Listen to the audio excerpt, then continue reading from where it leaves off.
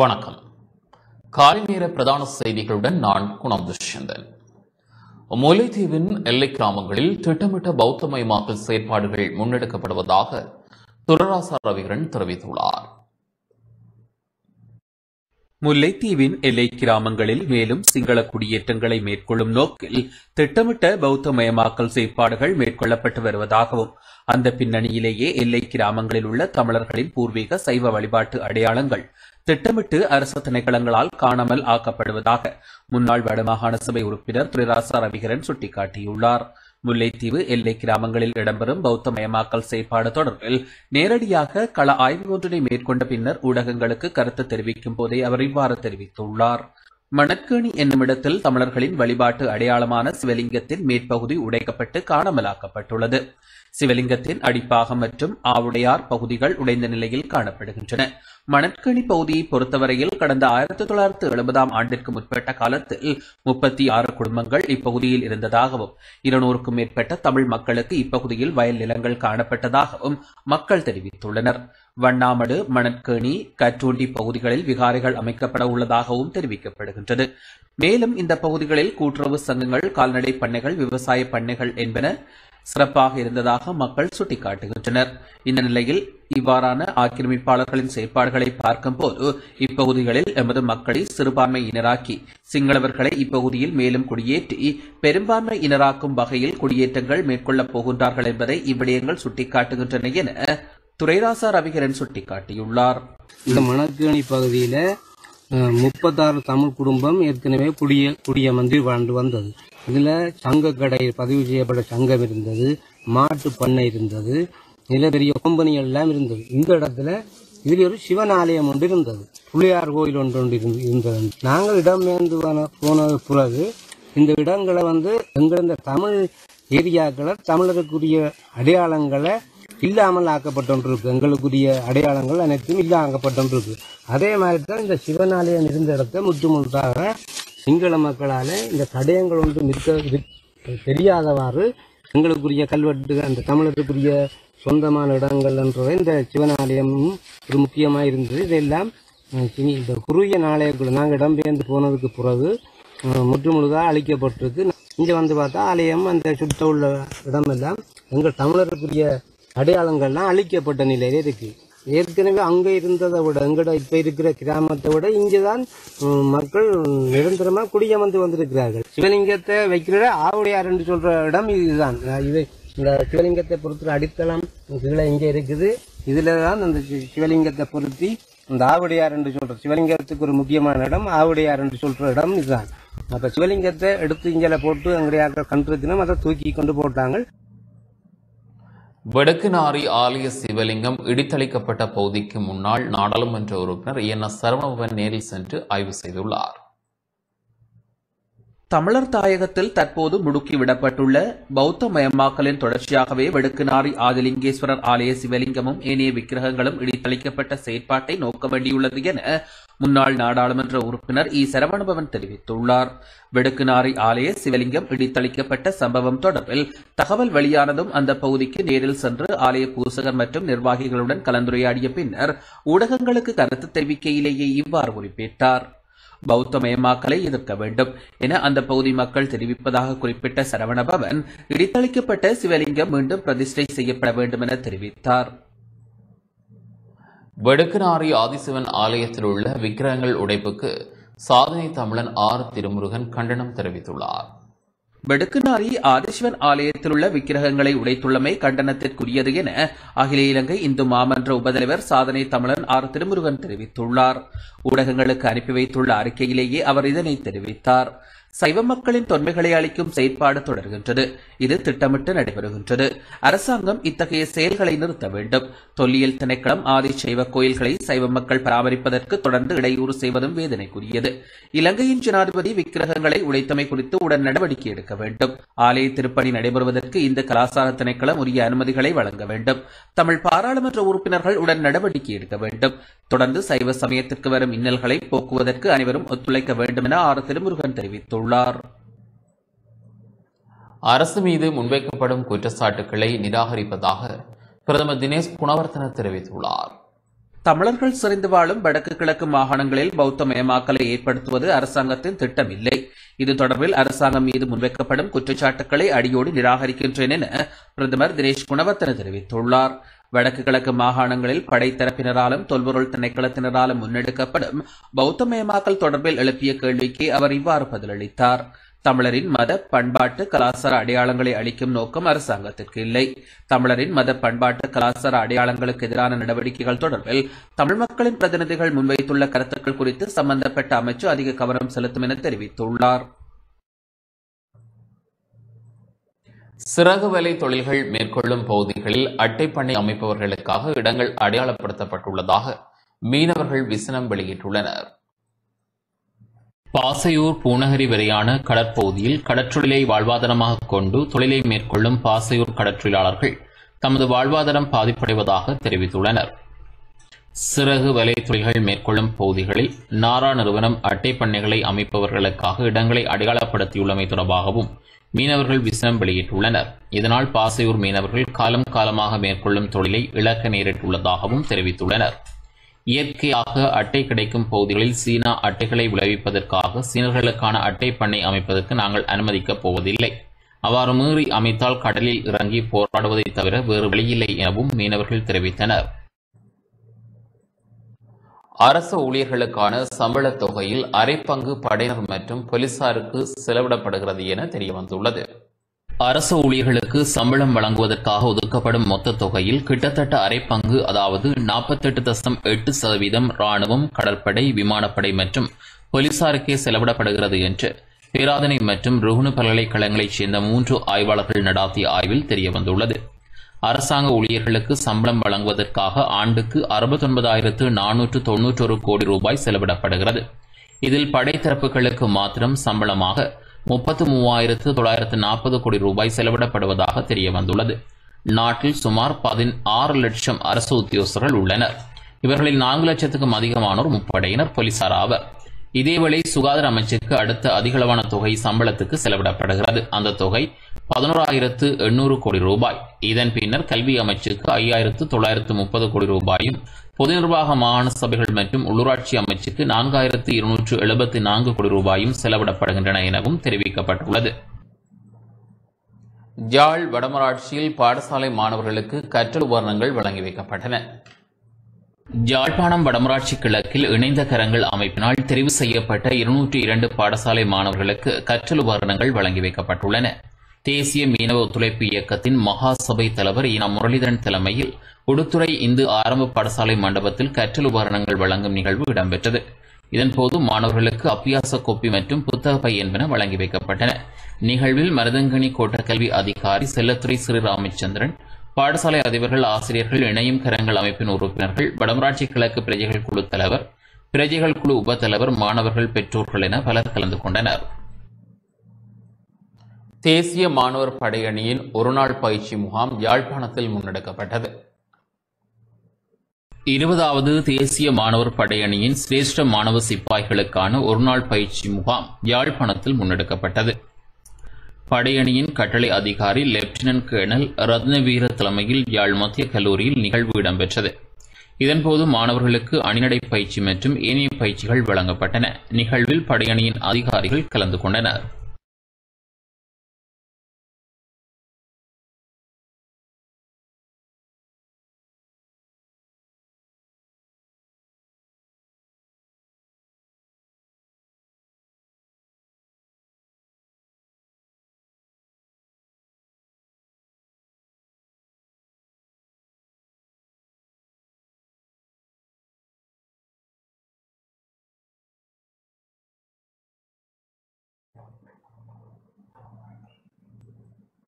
கிளிநொச்சி தருமபுரம் பகுதியில் கசிப்புடன் பெண் ஒருவர் கைது செய்யப்பட்டுள்ளார். கிளிநொச்சி தருமபுர போலீஸ் பிரிவுக்கு உட்பட்ட விசுவமாடு புன்னை நீராவி பகுதியில் ஐம்பத்தி நான்கு போத்தல் கசிப்புடன் பெண் ஒருவர் கைது செய்யப்பட்டுள்ளார். போலீசாரின் வீதி சோதனையின் போது பொதி செய்யப்பட்ட கசிப்பினை மோட்டார் சைக்கிளில் ஐம்பத்தி நான்கு போத்தல் கசிப்பினை கொண்டு சென்ற பெண் கைது செய்யப்பட்டுள்ளார். கைது செய்யப்பட்ட பெண்ணிடம் இருந்து ஐம்பத்தி நான்கு போத்தல் கசிப்பு மற்றும் கசிப்பினை கொண்டு செல்ல பயன்படுத்திய மோட்டார் சைக்கிள் என்பன பறிமுதல் செய்யப்பட்டன. இந்நிலையில் சந்தேக நபர் கிளிநொச்சி நீதிமன்றில் முற்படுத்தப்பட்ட போது பிணையில் விடுவிக்கப்பட்டார் என தர்மபுரம் போலீசார் தெரிவித்தனர்.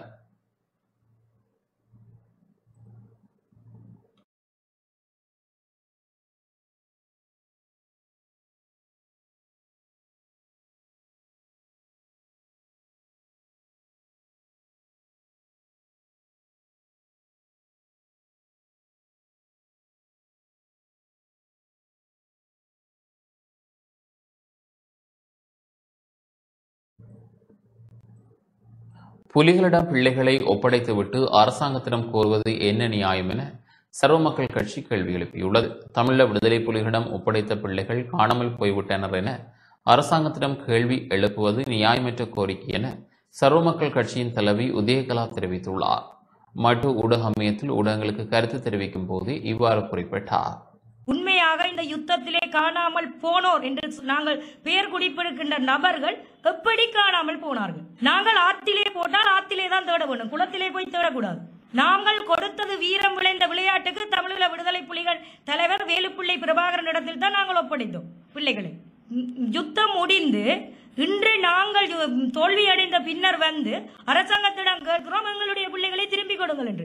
நாங்கள் அரசாங்கத்திடம் கையெழுத்து பெற்ற தமிழீழ விடுதலை புலிகளின் தலைவர் பிரபாகரனிடத்தில் எங்களுடைய பிள்ளைகளை கொண்டு போய் கொடுத்தோம். நாமல் நீதியின் பக்கம் நிற்க வேண்டும்.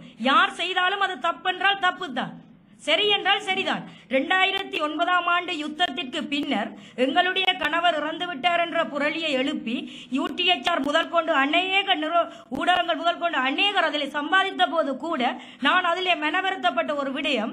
மீண்டும் நான் அந்த விடயத்தை வெளியுலகுக்கு சொல்லிவிடுவேன் என்ற பயத்தின் காரணமாக நிறைய புனகதைகளை எல்லாம் கட்டிவிட்டார்கள். இன்றும் நான் சொல்லுகிறேன் சட்டத்தை சந்திக்க நான் தயார்.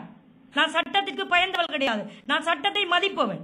இன்றும் நான் சொல்கிறேன் நான் நெருப்பு தான் என்னை தொட்டு விட்டு இவர்கள் திரும்பி செல்ல வேண்டும் என்று நினைத்தால் அது முடியாத காரியம். இவர்களுக்கு எப்பொழுதும் நான் ஒரே விடயம் திரும்ப திரும்ப சொல்கிறேன். இவர்கள் காணாமல் ஆக்கப்பட்டோர் இவர்களுடைய ஆர்ப்பாட்டங்களை செய்ய வேண்டுமா இருந்தால் என்னுடைய தனிப்பட்ட பெயரையோ என்னுடைய தனிப்பட்ட விடயங்களையோ அவர்கள் இழுக்கக்கூடாது. நாங்கள் அறிவார்த்தமாக சிந்திக்க வேண்டியவர்களாக இருக்கிறோம். இன்று காணாமல் போனோர் என்கின்ற பெயரிலே தலைமையிலே இருக்கின்ற தலைவிகள் கூட்டம் தான் உயர்ந்த இடத்தில் இருக்கின்றது. அவர்களோடு வேலை செய்கிறவர்களை பார்த்தால் இன்று அவர்கள் அடிமட்ட வாழ்க்கை வாழ்கிறார்கள். எத்தனை பேருடைய கணக்கு வழக்கு என்னிடத்தில் இருக்கின்றது? அவர்களுக்கு எப்படி அந்த வருமானம் வந்தது? அவர்கள் வீடு கட்டுவதற்கு எப்படி அந்த வருமானங்கள் வந்திருக்கின்றது? இதனையெல்லாம் இன்கம் டேக்ஸுக்கு அனுப்பு அனுப்பலாம் என்ற முடிவோடு தான் சில தொ- சில காணாமல் போனோருடைய வீடுகள் அவருடைய வருமானங்கள் தொடர்பான தகவல்களை திரட்டி இன்கம் டேக்ஸ் ஆபீஸிலே அனுப்புவதற்குரிய ஏற்பாடுகளை செய்து வருகிறேன். அங்கு அவர்கள் கணக்கு காக்கட்டும் இந்த பணம் எப்படி வந்தது என்று?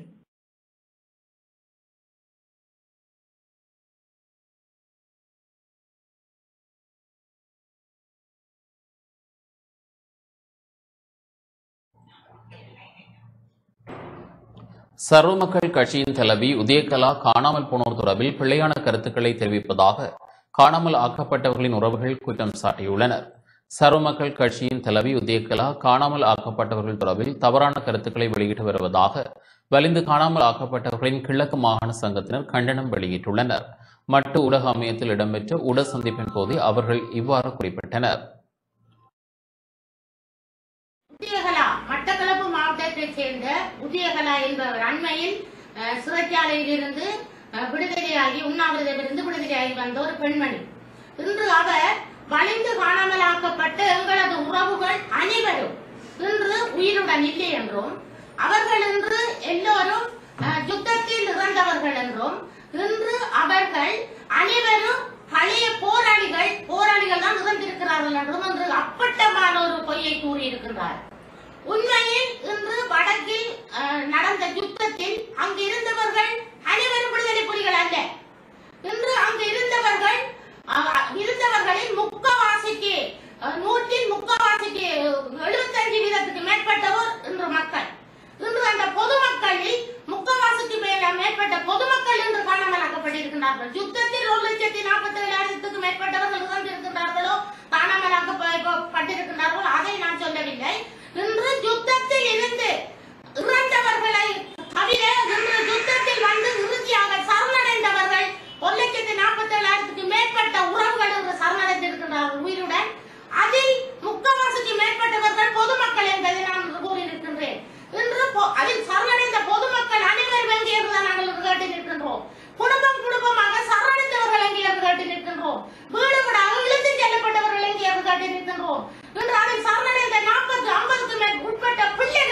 கேட்டிருக்கின்றோம் அதில் ஒரு சரணடைந்த கற்பிணி பெண்கள் எங்கே என்று கேட்டிருக்கின்றோம்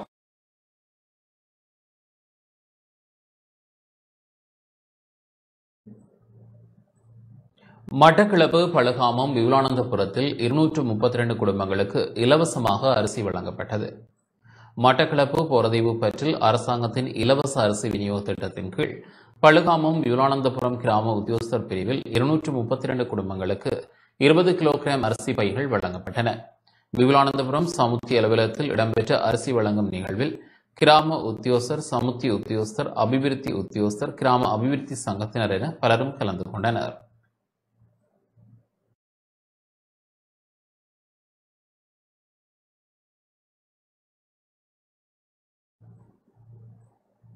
சமய அழிப்புகள் தொடர்கின்ற செயல் மிக வேதனை தருகிறது என சர்வதேச இந்து இளைஞர் பேரவை கவலை வெளியிட்டுள்ளது. இனவழிப்புகளை தொடர்ந்து சமய அழிப்புகள் தொடர்கின்ற செயல் மிக வேதனை தருகிறது என சர்வதேச இந்து இளைஞர் பேரவை தலைவர் சிவசரி ஜேனா மயூர குருக்கள் தெரிவித்துள்ளார். ஊடகங்களுக்கு அனுப்பி வைத்துள்ள அறிக்கையிலேயே அவர் இவ்வாறு தெரிவித்துள்ளார்.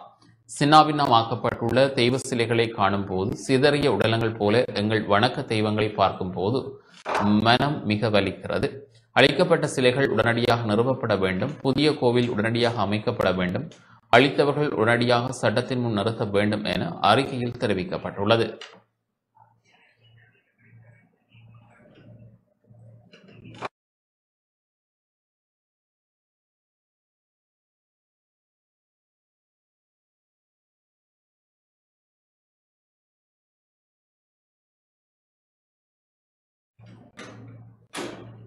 முல்லைத்தீவு புதுக்குடியிருப்பு பிரதேசலக பிரிவில் மானிய அடிப்படையில் அரிசி வழங்கும் வேலை திட்டம் ஆரம்பித்து வைக்கப்பட்டுள்ளது.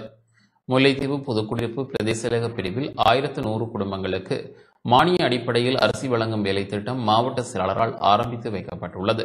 ஜனாதிபதி சிந்தனைக்கு அமைவாக பாதிக்கப்பட்ட குடும்பங்களுக்கு மாதா மாதம் பத்து கிலோ வீதம் அரிசி வழங்கும் வேலை திட்டம் புதுக்குடியிருப்பு பிரதேசலக பிரிவில் உடையார்கட்டு கிராம சபை பிரிவில் ஆரம்பிக்கப்பட்டுள்ளது.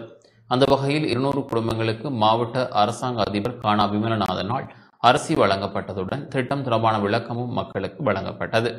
இந்நிகழ்வில் நிகழ்வில் புதுக்குடியிருப்பு மற்றும் கிராம சேவையாளர் அபிவிருத்தி உத்தியோகஸ்தர் திட்டமிடல் பணிப்பாளர் ஆகியோர் கலந்து கொண்டனர். மாவட்டத்தில் நூற்றி பத்தொன்பது மில்லியன் விலை தேவைப்பாடு இருந்தது அதை நாங்கள் கொள்வனவு மேலதிகமான நெல்லை நாங்கள் ஏனைய மாவட்டங்கள் இருக்கின்றது. ஒரு தொகுதி நெல்லை நாங்கள் ஒட்டு சுட்டான் கடையிறப்பத்து மற்றும் பு- புதுக்குடியிருப்பிலிருந்து யாழ்ப்பாணம் மாவட்டத்துக்கு அனுப்பி கொண்டிருக்கின்றோம். இலங்கை பூராக எங்களுக்கு இருபத்தெட்டு லட்சம் பேர் இந்த சமுத்தி பெற தகுதியானவர்களும் சமுத்தி பெற குடும்பங்கள் இருக்கின்றார்கள்.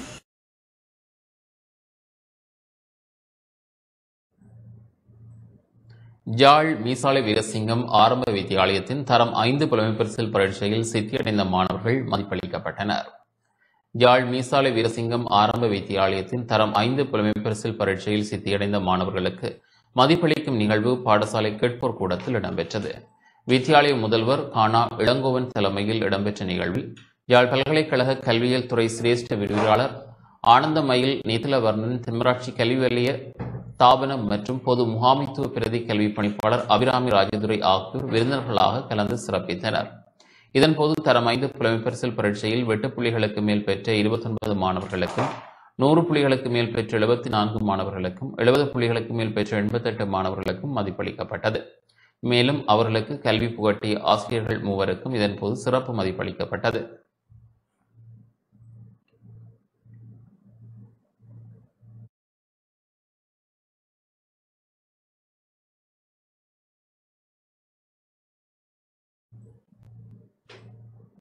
மன்னாரில் இளம் இசை வாத்திய கலைஞர்களுக்கான பயிற்சி பட்டறை ஒன்று இடம்பெற்றது. மன்னார் மாவட்டத்தில் உள்ள இளம் இசை கலைஞர்கள் மற்றும் இளம் வாத்திய கலைஞர்களுக்கான பயிற்சி பட்டறை மன்னார் மாவட்ட சேலத்தில் இடம்பெற்றது.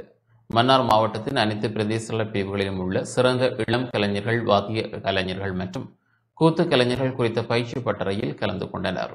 குறித்த பயிற்சி பட்டறையை மன்னார் மாவட்ட அரசாங்க அதிபர் திருமதி எஸ். ஸ்டான்லி பிரதம விருந்தினராக கலந்து கொண்டு ஆரம்பித்து வைத்தார். வடக்கு மாகாண ஆளுநரின் விசேட பணிப்பில் இந்து சமய கலாசார அலுவல்கள் திணைக்களம் மற்றும் இந்து பண்பாட்டு நிதியம் என்பவற்றின் ஆலோசனையில் வடக்கு மாகாண பண்பாட்டு அலுவல்கள் திணைக்களம் குறித்த பயிற்சி பட்டறையை ஒழுங்குபடுத்தியிருந்தமை குறிப்பிடத்தக்கது.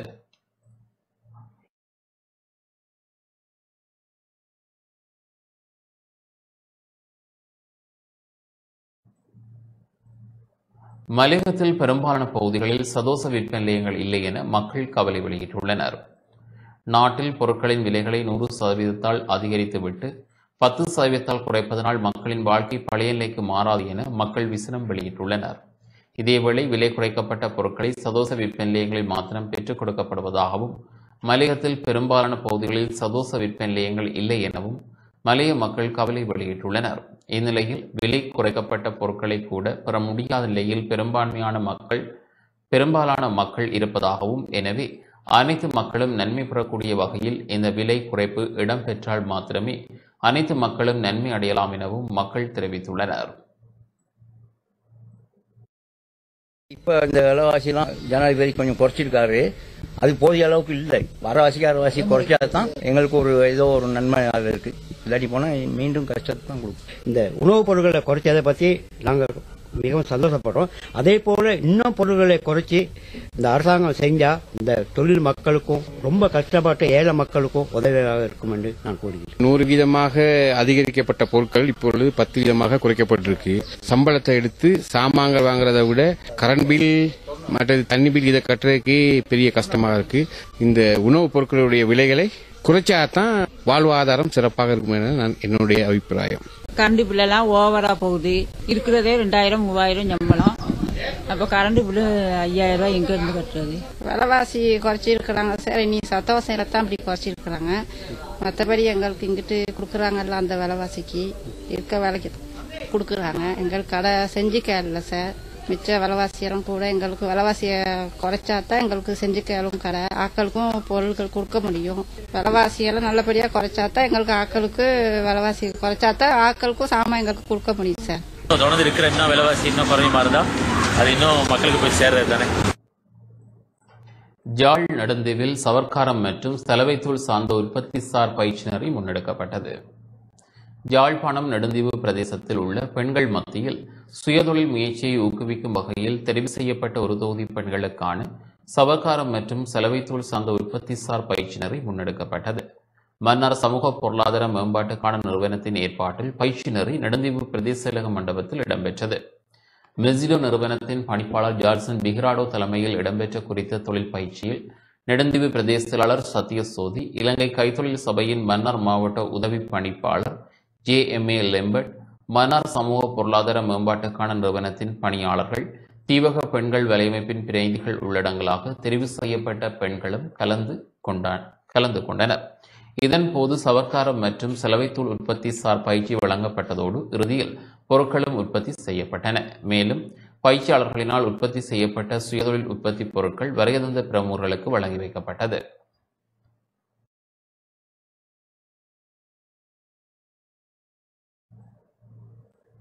யாழ்ப்பாணம் அளவட்டி அழகொல்லை விநாயகர் முன்பள்ளியின் விளையாட்டு நிகழ்வு இடம்பெற்றுள்ளது. யாழ்ப்பாணம் அளவட்டி அழகொல்லை விநாயகர் முன்பள்ளியின் வருடாந்த திறனாய்வு விளையாட்டு நிகழ்வு இடம்பெற்றது. தேசிய கொடி ஏற்றப்பட்டு ஒலிம்பிக் தீபம் ஏற்றப்பட்டு விளையாட்டு நிகழ்வு உத்தியோகபூர்வமாக ஆரம்பித்து வைக்கப்பட்டது. இதன்போது முன்பள்ளி சிறார்களின் அணிவகுப்பு பழம் பொறுக்குதல் கயிறு இழுத்தல் போன்ற பல விளையாட்டு நிகழ்வுகள் சிறப்பாக நடைபெற்றது. விளையாட்டுகளில் வெற்றி பெற்ற முன்பள்ளி சிறார்களுக்கு சான்றிதழ்களும் பரிசுகளும் வழங்கி வைக்கப்பட்டன. நிகழ்வில் வலிகாமம் கல்வி வலயத்தின் ஆரம்ப பிள்ளை பருவ கல்வி அபிவிருத்தி பிரிவி உதவி கல்வி பணிப்பாளர் சானா கிருவானந்தன் அளவட்டி அருணோதயா கல்லூரியின் அதிபர் நாகலிங்கம் கேதீஸ்வரன் மற்றும் அதிகாரிகள் முன்பள்ளி சிறுவர்களின் பெற்றோர்கள் பழைய மாணவர்கள் நலன் விரும்பிகள் என பலரும் கலந்து கொண்டனர்.